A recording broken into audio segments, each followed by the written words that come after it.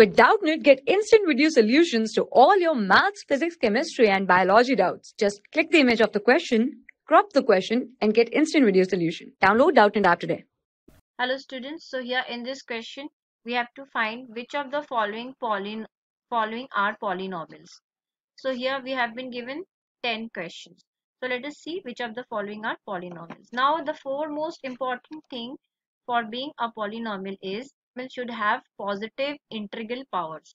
Now uh, for example if I have this polynomial then this will be this expression will be a polynomial only if all the variables should have the positive integral powers. That means the variable the power of the variable should be a positive integral. What do you mean by integral? Integral means they should be whole numbers. Okay. Positive integral powers. Those are known as polynomials. So let us check for first one. So let we have the first question is x square minus 3x plus 1.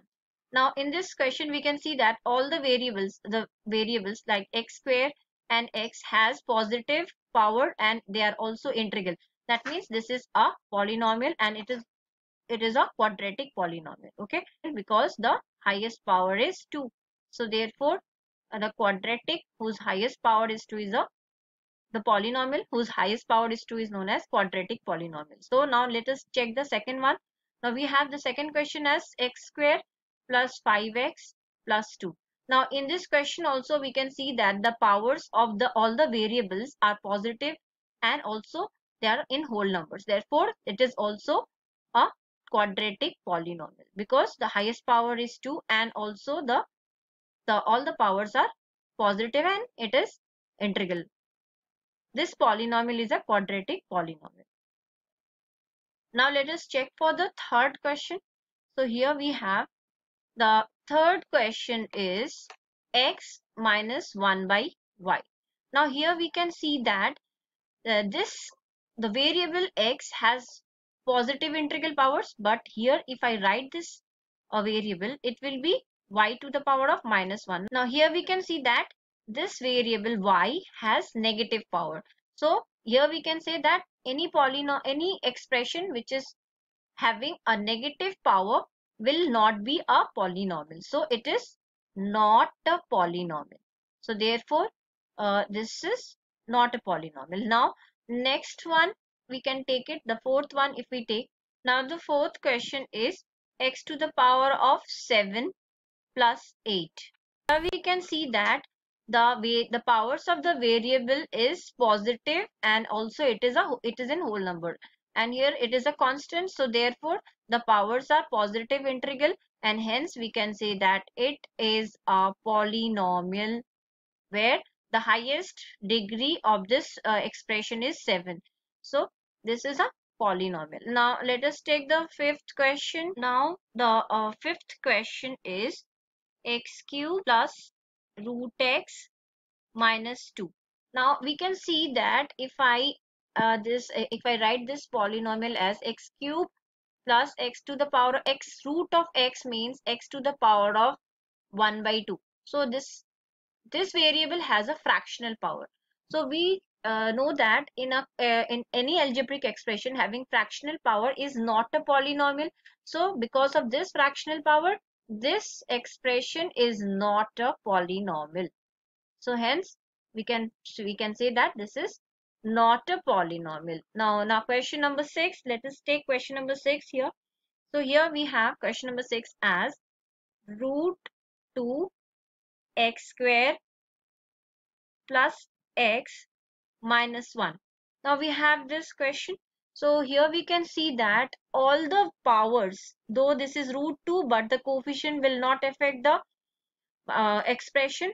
So we can see that all the powers of the variables are positive and also in whole number.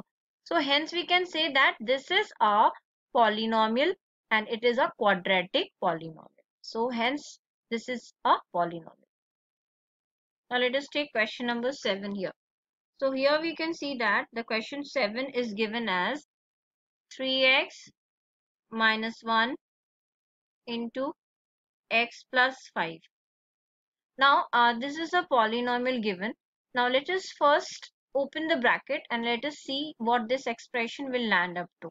So here we will have 3x square. This x 3x will multiply with this expression. So it will be 3x square plus 15x. Now again this minus 1 will be multiplied with this expression. So it will be minus x minus 5. Now we have this. So let us uh, simplify further. So here I will get 3x square my plus 14x minus 5. Now here we can see that all the powers of the variables is positive and also integral. That is all all are in whole numbers. The powers are in whole numbers. Hence we can say that this is a quadratic polynomial. So it is proved that it is a quadratic polynomial. Now let us do for next question. The eighth question. Here we have eighth question as x minus 3 by x into x plus 2 now we have this expression. Let us open the bracket and see whether we are getting a positive integral powers of the variable or not. So x will get multiplied with these two. So I will get x square plus 2x. Now this will get multiplied with this. So I will get minus 3 and x will get cancelled. And again I will get 3 to just 6 minus 6 by x. Okay. Now here if I again simplify it, I will get x square plus 2x minus 3 minus 6x to the power of minus 1. Now in this expression we can see that one of the variable has negative power. Negative power. So this polynomial will not be, this expression will not be a polynomial. So hence it is not a polynomial okay because of its negative power. Now let us take the ninth question. So the ninth question is now we can take the ninth question here. Uh, it is ninth one is uh, 2 x square minus 1 now here uh, directly we can see that the power of the variable is positive and also it is a in integral so hence we can say that directly that because it has positive integral powers, therefore it is a quadratic polynomial. So hence it is a quadratic polynomial. So now let us come to the next question that is 10th question. So the 10th question is x plus x plus 1 by root x plus 2 now we can see that if we simplify this expression, it will be x plus 1 by x to the power of root x can be written as 1 by 2. And so we can write this in this form. Again, we can simplify it. It will become x plus x to the power of minus 1 by 2 plus 2. Now, hence we can see that this power, the power of this variable is a negative and fractional. So, hence we can say that this is not a polynomial. Okay, so these are all the solutions. Thank you. For class 6 to 12, IIT JEE and NEET level. Trusted by more than 5 crore students. Download Doubtnut App today.